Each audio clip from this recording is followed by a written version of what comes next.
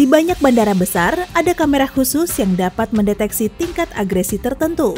Kamera-kamera ini mengirimkan informasi ke komputer dan dalam kasus tingkat agresi yang berbahaya, seperti ketika seseorang terlihat merah di layar, tersangka akan dihentikan oleh keamanan bandara untuk pemeriksaan terperinci.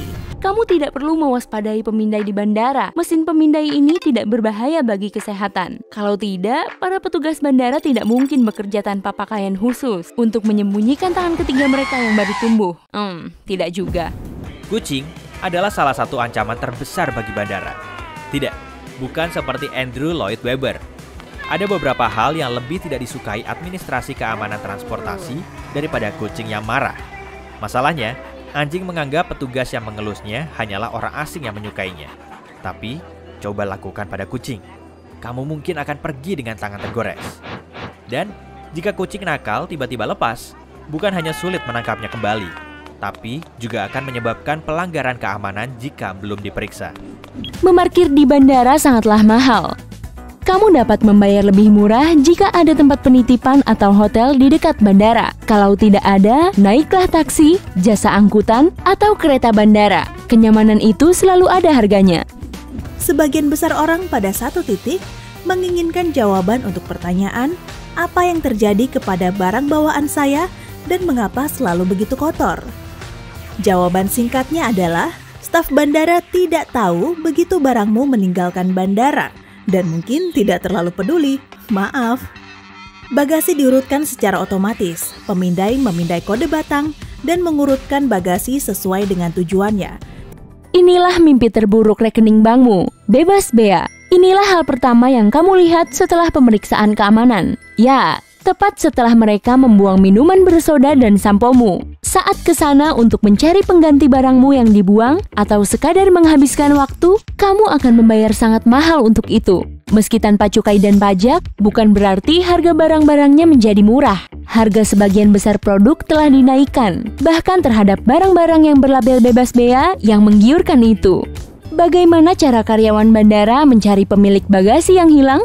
Pertama, kalau sudah jelas tidak seorang pun akan mengklaim tas tersebut, maskapai berusaha mencari tahu pemilik bagasi itu.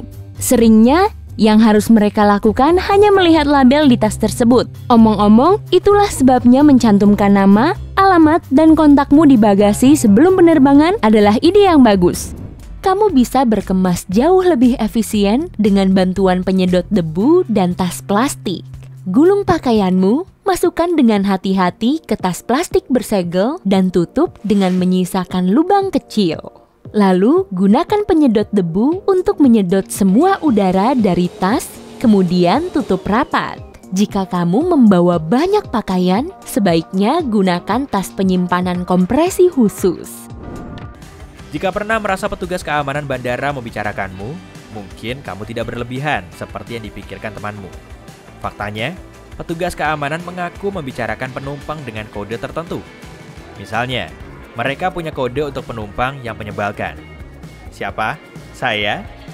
Jika penumpang seperti itu harus diperiksa lebih lama, mungkin cuma kebetulan, atau mungkin juga bukan.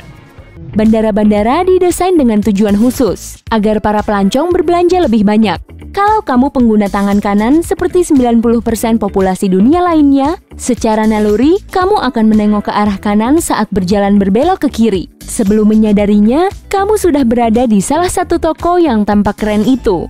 Jika nanti kamu dikepung oleh para pedagang ini lagi, terus saja berjalan, dan rekening bankmu akan tetap aman.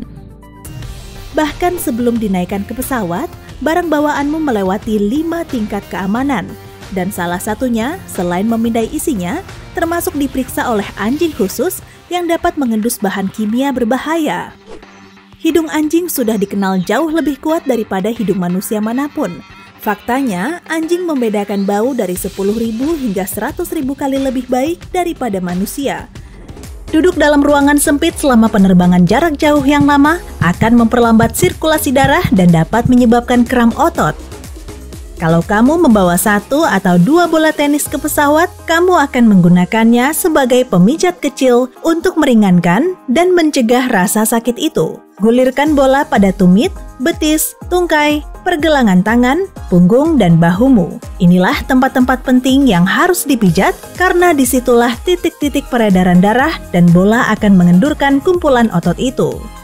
Satu atau dua kantong sampah akan menjadi penyelamat saat kamu keluar dari bandara tujuan dan disambut oleh hujan. Bungkuskan kantong sampah pada bagasi jinjing dan bagasi yang diperiksa, dan barang-barangmu tidak akan basah kuyup. Kursi paling nyaman bisa ditemukan di sebelah area perbelanjaan bandara dengan satu alasan. Ini adalah cara penjual menarikmu ke toko mereka.